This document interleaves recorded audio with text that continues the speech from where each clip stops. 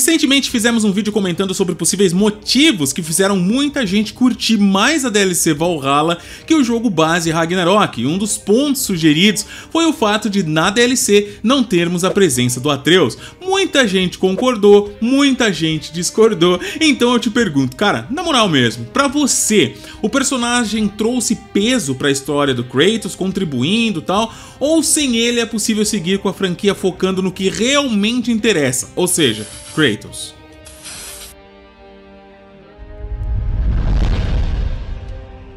Fala fiotes, eu sou o Kalil e você está no Gamer Liu Game. Seja muito bem-vindo mais uma vez no canal e pra mim, como todos os dias, é muito bom te receber aqui. No vídeo de hoje voltamos com God of War Ragnarok e mais um debate pra pôr na mesa, tá? Um jogo sem Atreus seria mais interessante? Ou seja, se eles deixarem o personagem na geladeira, né, por um tempo aí considerável e focar só no Kratos, vai ser o que a grande massa quer, sim ou não?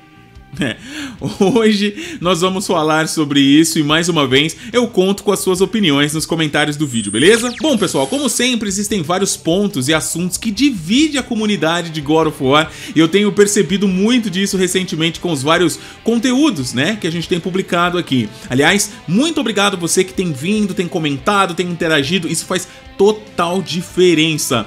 Uns gostam mais do Kratos, outros gostam mais do Kratos antigo, há quem não se importa com nada disso e só quer jogar. Existem os que estão preocupados até com a cintura fina ou não do Kratos na skin dele nova que foi colocado.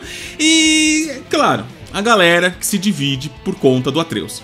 Lendo vários comentários, eu percebi que muita gente não curtiu o garoto e em partes eu até entendo sim, né? Inclusive eu já comentei aqui que os trechos com Atreus no Ragnarok são de longe os meus não favoritos, mesmo tendo gostado aí do game num todo. De início é legal descobrir que o personagem fica jogável, seu gameplay não é dos piores, mas os seus momentos, né, geralmente são momentos que desaceleram o jogo. Isso contribuiu para que muita gente, né, pegasse aí uma certa antipatia pelo personagem. Alguns já nutrem isso desde God of War 2018, quando temos ali um Atreus insuportável, falastrão e desobediente, mas mano, o Atreus era uma criança. A questão é que mesmo tendo gostado do jogo base Ragnarok, eu não vou reclamar de ter visto uma DLC focando só no Kratos e com ação do início ao fim. Isso é um fato, né? Uh, de verdade, deu outra cara pro negócio todo e hoje eu acredito que eu não ficaria triste não se num próximo game deixassem o Atreus na geladeira ali fermentando um pouco. Mas o que eu tenho me perguntado, né? Realmente o que eu tenho me perguntado ultimamente é se o problema está no Atreus propriamente dito, né? Se o personagem é interessante ou não tal, ou se pecaram na maneira com que fizeram as sequências dele dentro do jogo, tá ligado? O problema tá no Atreus ou no jeito que nós jogamos com Atreus, conhecemos o Atreus, vimos os momentos com Atreus, tá ligado? Ó, saca só. O personagem, ele tem sua importância? Cara, com certeza, e isso eu acredito que seja unânime quando nós estamos falando aí de lore e tal. Eu acho que a questão que mais pega é o gameplay propriamente dito, aí eu acho que 70%, saca? Se o personagem daqui pra frente agora adulto, né? Voltar carregado de experiência, sem mimimi e com um gameplay visceral, eu acho que muita gente vai curtir. Então, meio que o problema em si, pra mim, não é o personagem, mas o que fazemos com ele quando temos a oportunidade de controlá-lo. Ok? Concorda? Discorda? Comenta aí. Geralmente, né? As reclamações, elas estão em torno do momento sem graças em que a gente joga com ele, menção honrosa aí a caminhada ali da Angreboda, né, naquele bicho touro esquisito lá, e, e coisas desse tipo aí, tá ligado? Então eu realmente, é, eu tô crente a bater o martelo que se desenvolverem bem o personagem e colocarem nele um gameplay louco, dá pra salvar, saca?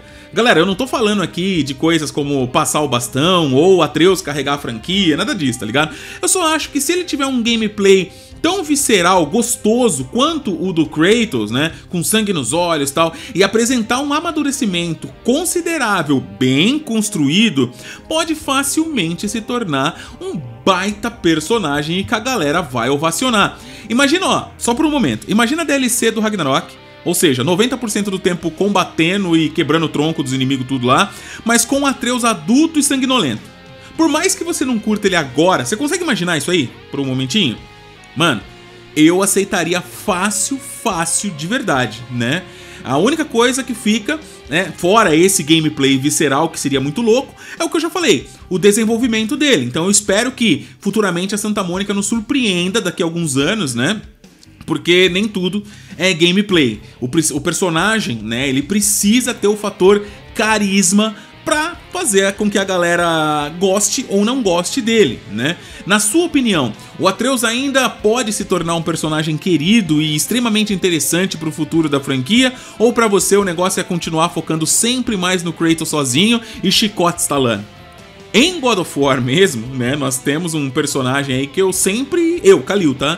Eu sempre cagava pra ele, mano. Não cheirava, não fedia, mas que no final do Ragnarok eu queria, porque queria uma DLC contando mais da sua jornada atual depois de tudo que aconteceu. O Sindri, cara. Velho, ele foi para mim o maior exemplo que dá para deixar um personagem extremamente interessante do nada, tá ligado? Eu sei que muita gente curte o Sindri e tal, mas eu, Kalil, eu passei a crescer os olhos de, nele, né? Depois da transformação pessoal que ele teve ao perder o irmão. Então, velho, eu mal posso esperar, né, para ver os próximos capítulos aí desse carinha pelo que fizeram com ele.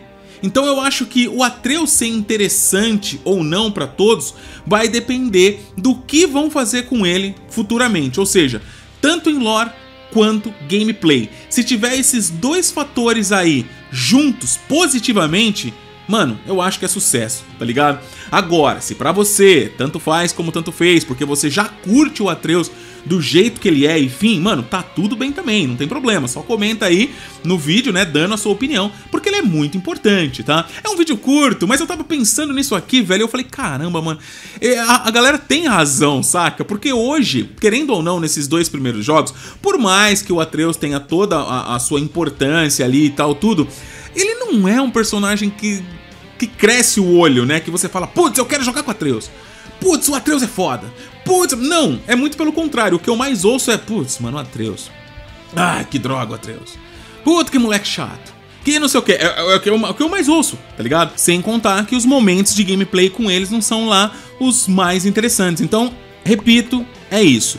Melhorou o desenvolvimento, o amadurecimento, né, acredito eu assim, do personagem com um gameplay super divertido, né, sanguinolento e tal, né, vídeo God of War eu acho que vai dar bom, galera. O que, que você acha? Comenta aí.